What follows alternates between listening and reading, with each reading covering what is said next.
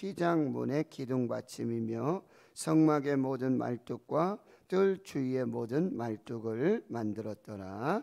아멘. 네, 오늘 말씀은 이제 하나님께서 성막을 만들도록 짓도록 명령하신 후에 그리고 이제 하나님께서 사람을 세우십니다. 부살렐 총 아, 현장 소장과 같습니다. 그리고 동역자 아, 오홀리압 이 사람은 예술 장인입니다. 그래서 아주 공교하게 또 정교하게 할 수 있는 그런 동역자를 붙여 주시고 이 두 사람이 다 한 것이 아니라 그 외에 하나님께서 지혜를 주시고 감동을 주신 이름은 기억하지 않았던 많은 사람들이 함께 동역해서 이 성막 제작에 참여하게 되어집니다. 그리고 오늘은 특별히 성막 제작 결산 보고를 하고 있어요. 어, 재정적으로 금, 은, 그리고 놋 이것이 얼마나 들었고 어떻게 사용되었는지 이렇게 결산 보고를 해주고 있는 것을 볼 수가 있습니다.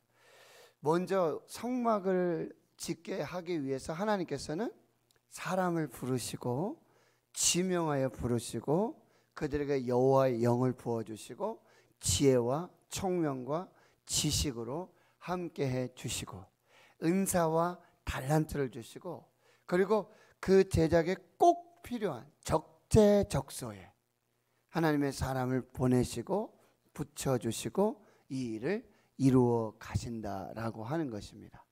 하나님의 일을 하나님이 이루어 가시지만 하나님께서는 사람을 불러서 쓰신다라고 하는 것 이것을 꼭 기억해야 하는 것입니다.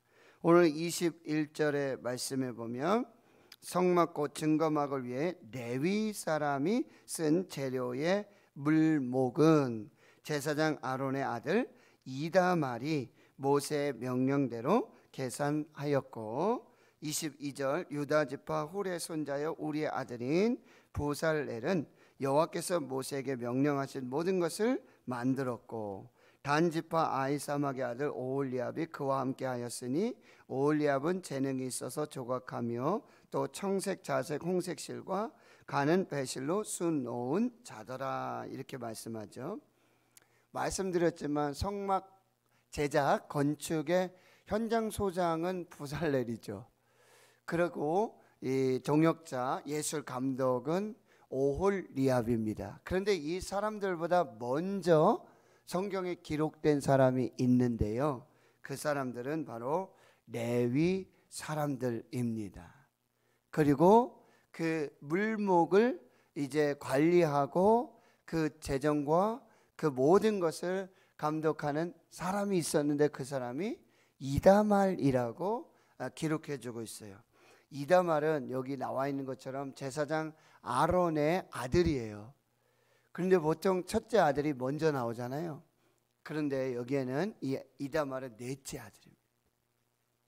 나답과 아비후 그리고 엘르하살 이다말 이렇게 이다말이 넷째 아들이에요.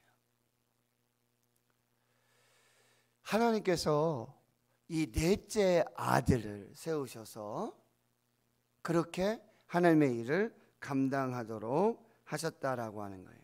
그리고 레위 지파의 사람이 먼저 기록됐다. 이것은 이제 성막이 제작되면 레위 지파 이 제사장들 중심으로 예배 중심으로 하나님 앞에 이 거룩한 성막의 사용 용도가 이제 결정될 것임을 또 예표해 주고 계시고요. 총 건설 제작 소장 부살렐과 그리고 동역자 예술 장인 오홀 리압보다 더 중요한 것은 이 무명에 기록하지 않았던 마음의 감동을 받고 성령의 감동에 의해서 성령이 주신 지혜를 통해서 함께 수고했던 그 무명의 사람들, 그 많은 사람들. 그러니까 성막은 어떤 한 사람에 의해서 한 사람의 주도적으로 한 사람의 능력으로 한 사람의 재능으로 되어지지 않았다라고 하는 거예요. 물론 총 책임은 부살렘이 지고 있고 그리고 동역자 오홀리압이 함께하고 있지만 이 함께하는 동역 이것을 하나님께서 더 귀히 여기신다라고 하는 것입니다. 그리고 이 이다말은 레위 지파지만 20 어, 2절에 부살렐은 유다 지파고요. 23절에 오홀리압은 단 지파입니다. 이건 또 무슨 얘기예요? 이렇게 지파가 다 달라요. 그리고 그들의 모든 삶의 모든 것이 다 달라요. 그런데 하나님의 성막 제작을 위해서는 연합을 하게 되어지고 동력하게 되어지고 동일한 믿음과 동일한 충성함들을 통해서 하나님의 성전이 교회가 지어져 간다라고 하는 것입니다. 이것이 참 귀한 것들이에요. 교회는 각각 다른 그런 형편과 사정과 출신과 배경 이 모든 다른 사람들이 함께 모이는 곳입니다. 그래서 연합을 이루어서 교회와 성전을 이루어 간다라는 의미를 우리가 잘 살펴봐야 하고요. 그리고 여기 특별히 아, 부살렐 같은 경우에는 유다 지파 훌 여기 여러분 훌에다가 한번 동그라미를 쳐보세요.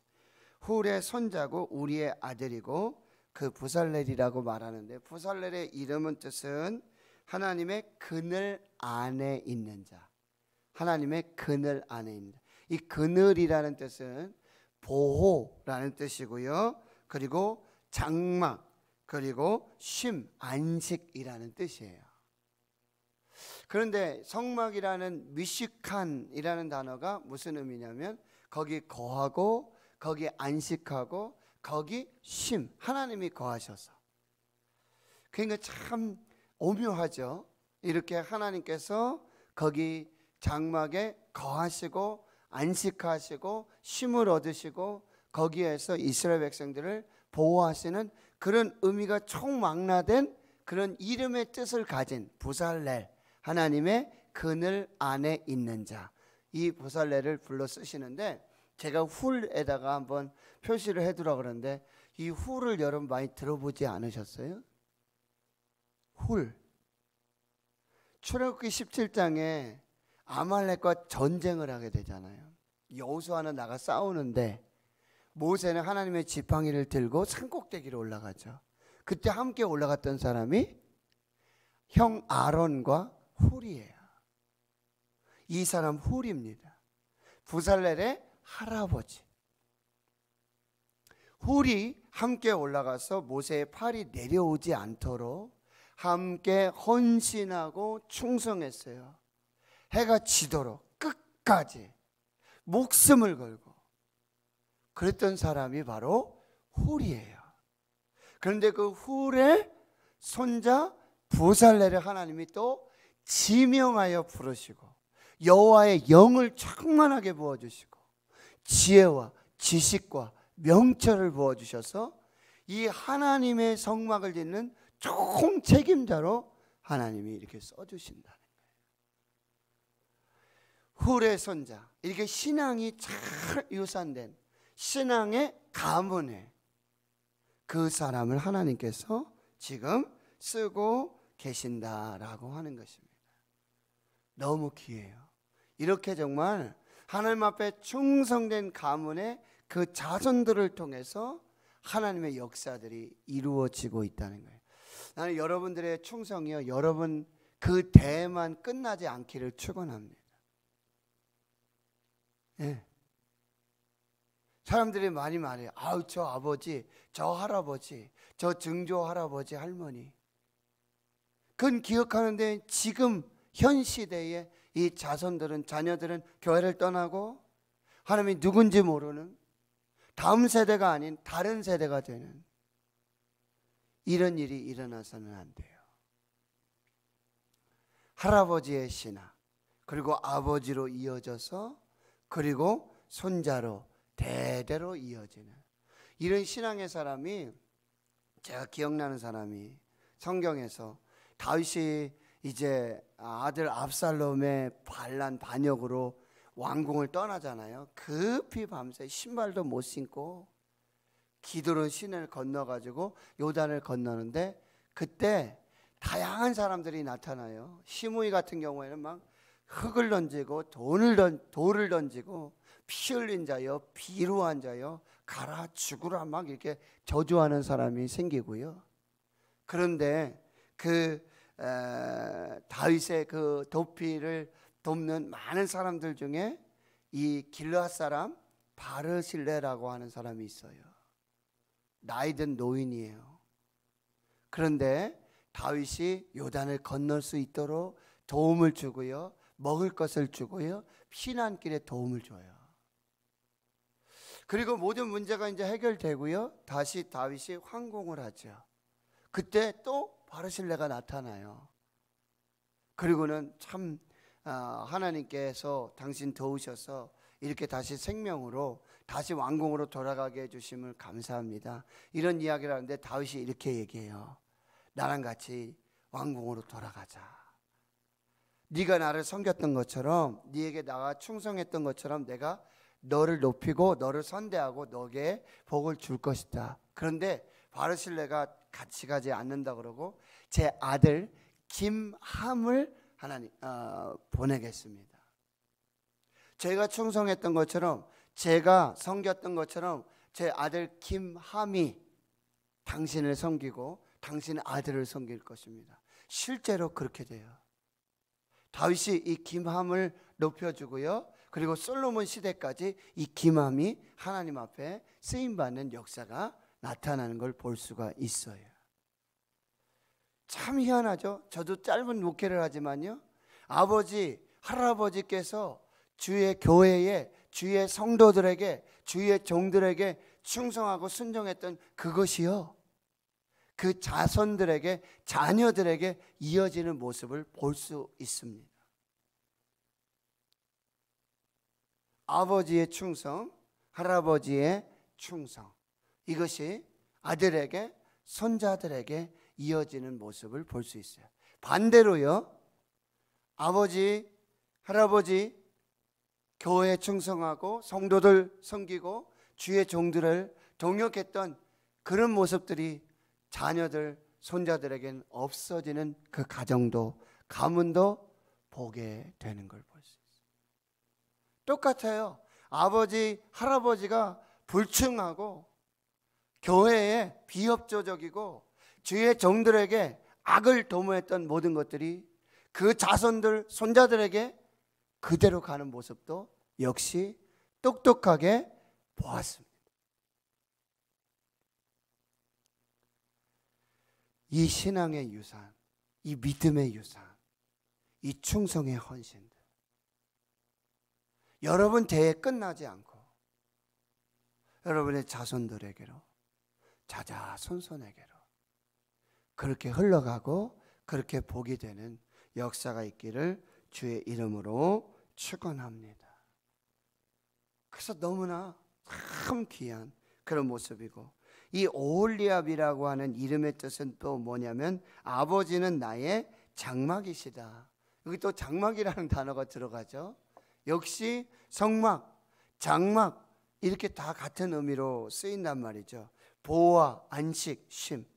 이렇게 하나님께서는 정말 하나님의 교회와 하나님의 성전, 이 성막을 위한 이 사람들을 하나님께서 태어날 때부터 하나님께서 이미 택정하시고 구별하셔서 이때 쓰시고자 하나님이 예비하여 주신 그런 하나님의 종들이라는 거예요. 그런 종이 또 있잖아요. 누구의? 여호수아의. 여러분 여호수아를 여기 보시면은 몇 번 나오지 않아요. 그런데 모세가 시내산에 올라갈 때, 첫 번째 올라갈 때 24장에 나오는데요. 그때 올라갈 때 이제 누구와 동행하면 젊은 수종자 여호수아와 동행을 해요. 그런데 모세는 하나님의 시내산 꼭대기 그 흑암 중에 40주야를 깊이 그 구름 가운데 인도함을 봐서 들어가지만 젊은 수종자 모세는 산중턱에 있어요. 거기까지만 동행해요. 그런데 거기에서 40주야를 그렇게 기다리고 있는 거죠. 근데 그 밑에 또 누구에게 얘기를 하면 너희 중에 장로들이 있고 그 중에 아론과 24장에 또 한 사람이 나오는데 아론과 홀이 있다 그래요. 누구예요? 같이 기도했던 홀. 그런데 아론과 홀에게 무슨 임무를 맡기냐면 너희들이 어려운 일이 있거나 힘든 일이 있으면 내가 지금 하나님 앞에 올라가고 여호수아도 지금 없고 장로들하고 잘 의견해서 이 일을 진행해라 이렇게 맡겨준 사람이 누구냐면 아론과 홀이에요. 그런데 아론은 뭐야? 금송아지 우상을 만들어요. 근데 그 위에 아론 얘기만 나오는 걸로 봐서는 금송아지 이야기 사건 속에 그리고 모세가 나와서 책망을 할 때 아론만 책망하는 이 일을 보는 걸 보면은 훌은 반대했다는 거죠.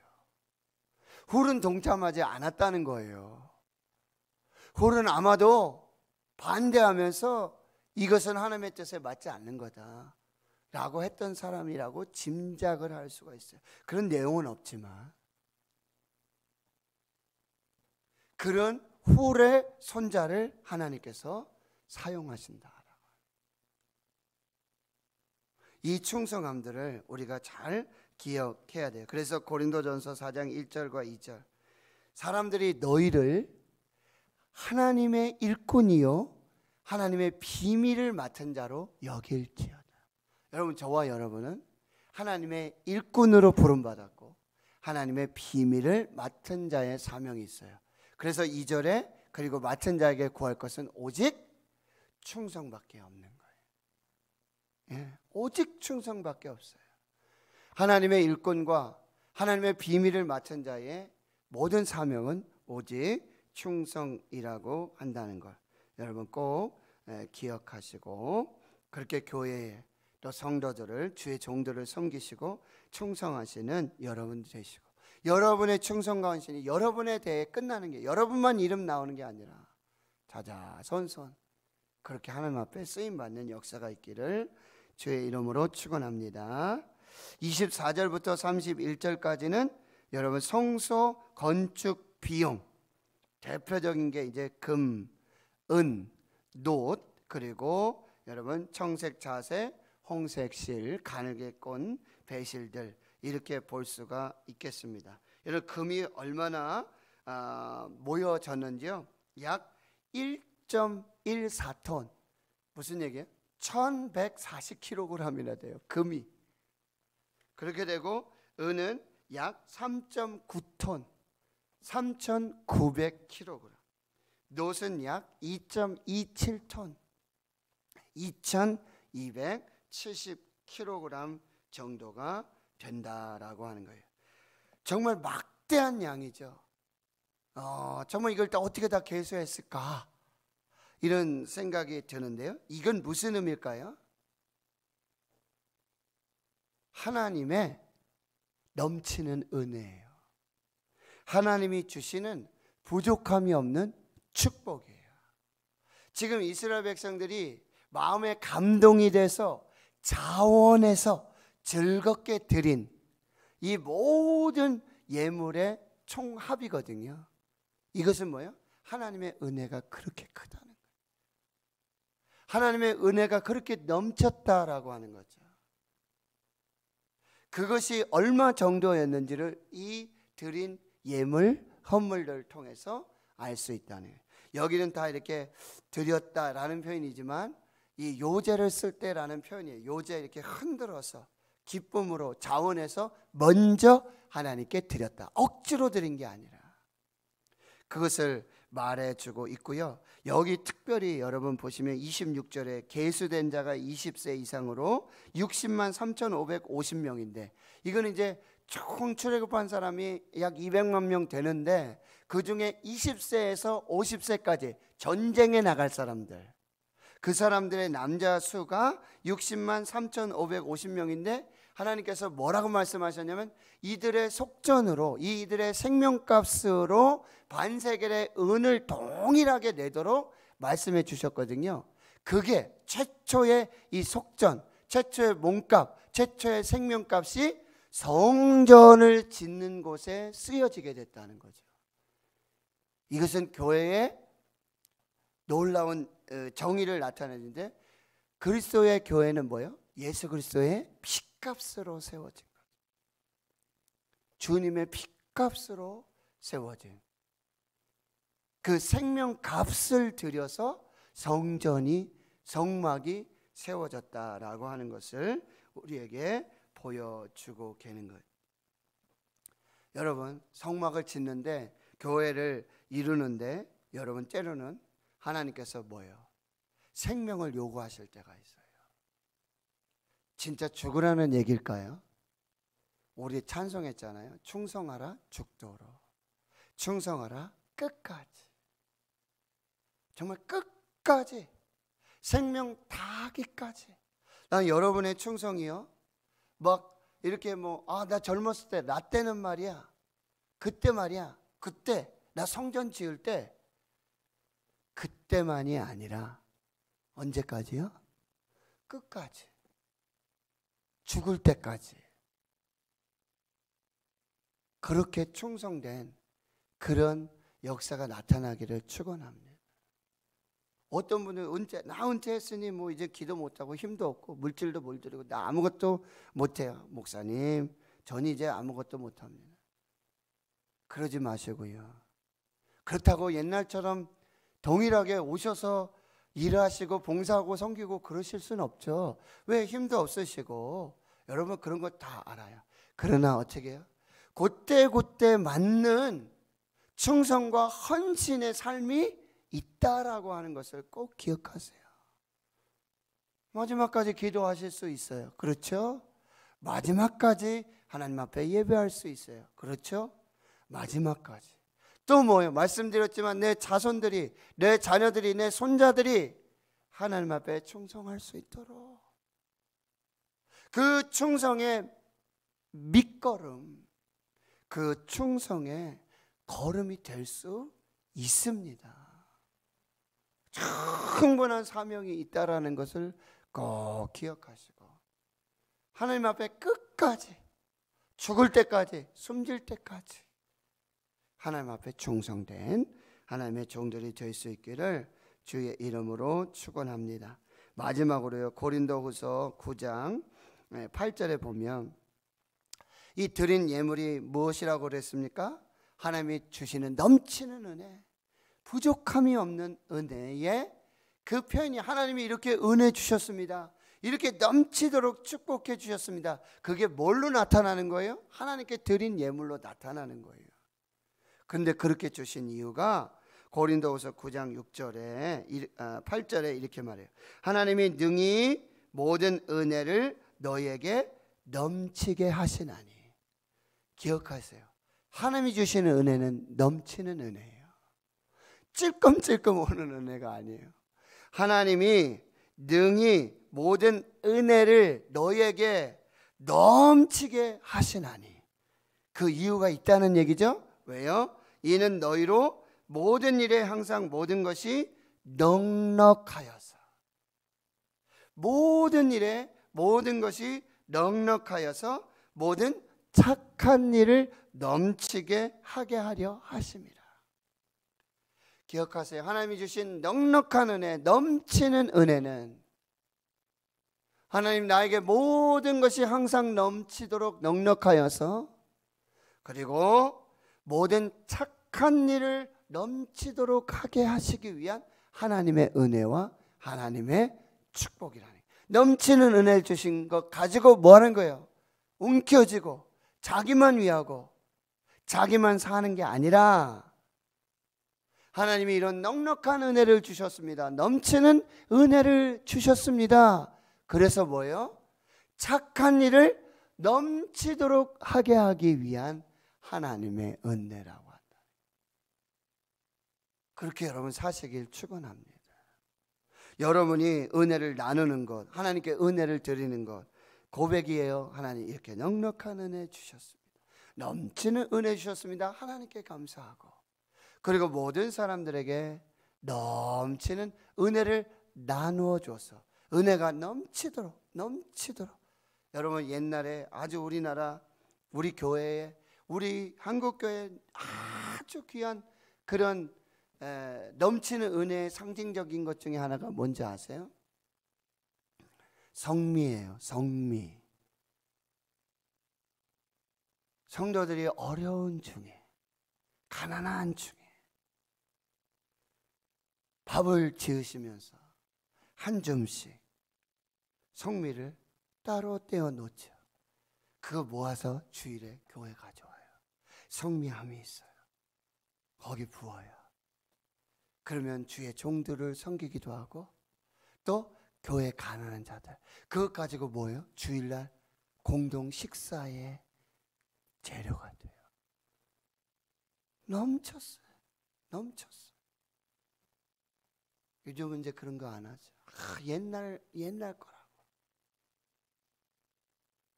초대교회 어떻게 했어요? 모든 걸 나눴잖아요. 있는 자는 자기 소유 팔아가지고 그거 교회 가져왔어요. 그러면 주의 종들이 그걸 공평하게 나. 초대교회 특징 중에 하나가 그 로마의 박해, 그 가난, 흉년의 그런 일들 속에 핍절한 자가 없다 그랬어요. 교회 오면 먹을 게 있었고, 교회 오면 나눔이 있었고, 이것이 하나님의 은혜요, 하나님의 축 복이라고 한다는 거예요.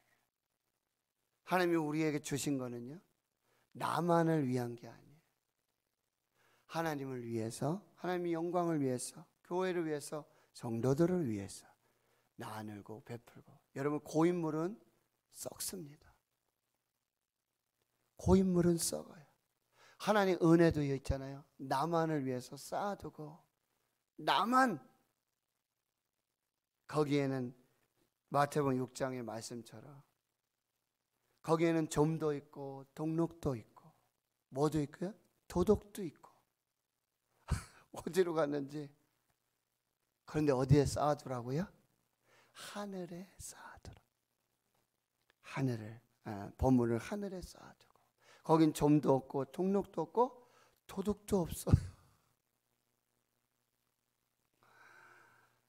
하나님께서 주신 은혜 오늘도 살아가시고 오늘도 아 하나님 주신 넘치는 은혜로 교회와 성도들 가난한 자들 이웃들 함께 섬기고 여러분의 충성이 여러분 자자손손 신앙으로 이어지고 또 뭐예요? 여러분의 충성이 한때 그때 아니라 끝까지 죽도록 생명 다하기까지 하나님 앞에 충성하는 저와 여러분 되실 수 있기를 주의 이름으로 축원합니다. 하나님 감사합니다. 오늘 새벽 건강 주시고 믿음 주시고 또 좋은 날씨 주셔서 비 오면 장마가 폭우가 내리면 바람 불면 교회 올 수 없었지만 그런데 오늘 좋은 날씨 주시고 하나님 걸어서라도 이렇게 정말 두 다리 주시고 하나님 앞에 첫 시간 드리고 첫 마음을 드리고 첫 기도를 드리고 첫 번째 말씀을 받고 하나님 앞에 하나님과 함께 시작하는 이 하루 은혜 주신 하나님 감사합니다. 하나님 하나님 훌의 손자 우리의 아들 보살레 하나님 정말 이렇게 3대 이름이 성경에 기록되어 있고 그 충성함이 헌신함이 하나님 앞에 기억된 바 된 것처럼 주의 성도들의 가정의 자손들에게 하나님 이런 축복을 주시고 하나님 하나님 주신 넘치는 은혜 측량할 수 없는 은혜 감당할 수 없는 은혜를 하나님께 도로 드리고 그 은혜를 나누고 그 은혜 축복의 마중물로 하나님 끝까지 죽을 때까지 마지막까지 호흡 다하는 날까지 그렇게 충성과 헌신이 들어가게 주여 도와주시고 하나님 성전에 드린 예물 중에 하나님 속전으로 생명값으로 몸값이 포함되어 있는 것을 보며 하나님 우리의 생명까지도 우리의 전부를 받으시기를 원하시는 그런 하나님의 은혜들을 우리가 잘 분별해서 그렇게 하나님 앞에 살아가도록 역사하여 주시옵소서. 오늘 새벽을 깨워 예배하는 이 거룩한 백성들을 한량없는 은혜로 마음껏 축복해 주시고 우리에게 주신 것 이 땅에 쌓아두는 것이 아니라 점과 동록 도둑이 있는 이 땅에 쌓는 것이 아니라 하늘 창고 종과 종록 없고 도둑 없는 하나님 우리가 재물과 하나님 두 주인 섬길 수 없음을 기억하고 하나님 앞에 충성하여 드리는 나누는 저희들 삶 되게 해 주시옵소서. 이제는 우리 구주 예수 그리스도의 은혜와 하나님 아버지의 무한하신 사랑하심과 성령의 교통하심이 이제로부터 영원토록 함께 하시옵기를 간절히 축원하옵나이다. 아멘. 오늘 하나님 앞에 주신 말씀 잘 마음에 새기고 기도해 주시고요. 코로나19 팬데믹이 지금 수도권 4단계지만요. 언제 어떻게 이 지방 비수도권